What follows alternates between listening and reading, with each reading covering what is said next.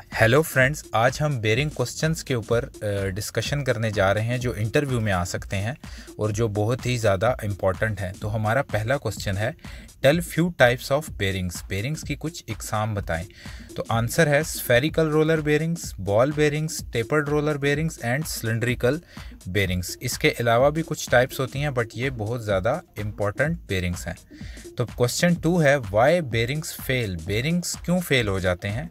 तो इसका जो करेक्ट आंसर है मोस्ट ऑफ़ द टाइम्स वो क्या होता है? Because of improper lubrication lubrication अगर प्रॉपर ना की जाए तो बेरिंग की जो लाइफ है, वो ख़त्म हो जाती है और जो बेरिंग है, वो ख़राब हो जाता है। Third question how to check bearing life अगर बेरिंग की हमने इंस्पेक्शन करनी है तो उसका बेस्ट वे क्या है? तो उसका बेस्ट वे ये है यूनिवर्सल वे ये है कि उसकी बेरिंग क्लियरेंस को चेक किया जाता है फिलर गेज के थ्रू अगर उसकी बेरिंग क्लियरेंस ज़्यादा है तो बेरिंग डिफेक्टिव हो जाता है। Question four what is W double three means in bearing two three zero two four C C slash W double three तो डब्ल्यू डबल थ्री इसमें क्या रिप्रेजेंट कर रहा है?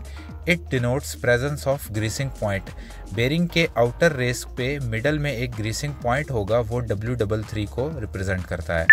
Question five what is self aligning roller bearing self aligning roller bearing कौन सा होता है?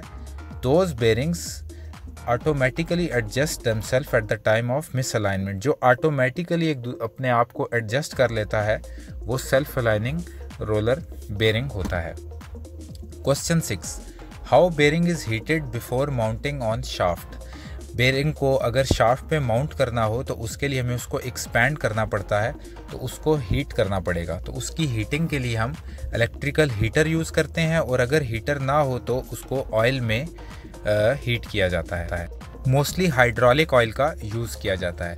गाइज़ अगर आपने मेरे चैनल को अभी तक सब्सक्राइब नहीं किया है तो काइंडली मेरे चैनल को सब्सक्राइब कर दें, ताकि आप इस तरह की मज़ीद वीडियोज़ देखते रहें।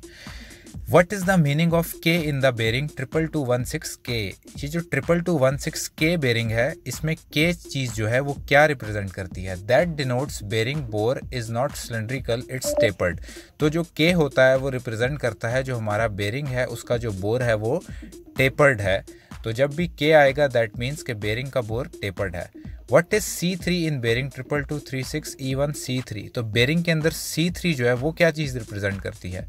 दैट डिनोट्स बेरिंग क्लियरेंस जो बेरिंग की क्लियरेंस होती है सी थ्री उस चीज़ को रिप्रेजेंट uh, करता है। डिफरेंट टाइप की क्लियरेंस बेरिंग होते हैं सी थ्री सी फोर इसके अलावा भी होते हैं कुछ बेरिंग्स तो ये इसको सी थ्री को रिप्रेजेंट करता है। What are major manufacturers of bearing bearing के मेजर मैन्युफैक्चरर्स कौन से हैं?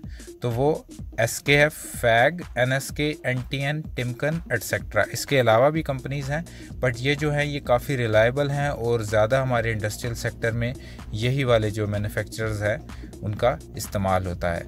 आई होप आपको मेरी वीडियो पसंद आई होगी और आप काइंडली मेरे चैनल को सब्सक्राइब कर दें और मेरी वीडियोज़ को देखते रहें।